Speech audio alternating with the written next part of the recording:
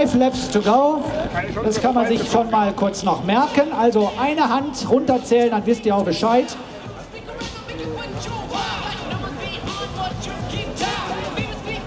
So, noch 20 Sekunden für die Damen der Kategorie Fitness und wir zählen für euch runter. Und zwar so viel, wie Runden zu skaten sind, also von fünf sozusagen. Ja?